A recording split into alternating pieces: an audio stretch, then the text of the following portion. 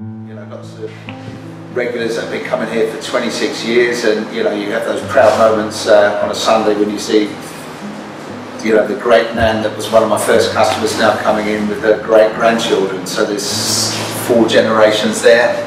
Um, always new business people coming into the area that will come in, people that moved into Croydon and trying us out and hopefully like us and stay here.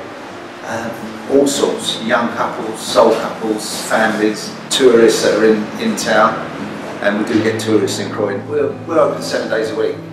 Uh, we just close on Monday lunch times, which is a day where you know we catch up with some deep cleaning and maintenance, and, and I can have a couple of hours without worrying about anything. Um, Sundays all days, all day long, which is a really nice sort of uh, buzzy family coupley day, if you like. It's closed Christmas Day and Boxing Day for a well-earned rest for everybody.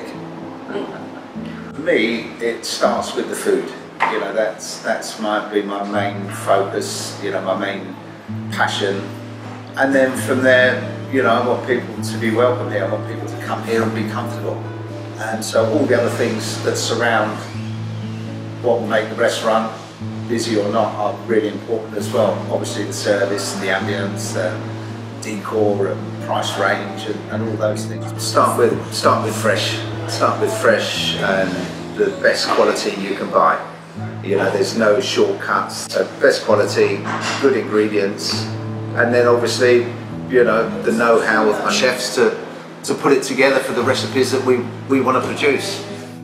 Fish will come in every day from Billingsgate Market. Um, our meat very regularly uh, from Smithfield and veg and salad and fruits all all daily. You know, you then trust your staff to you know to put together um, in the correct way with passion the dishes that we want to we want to serve. We want people to enjoy.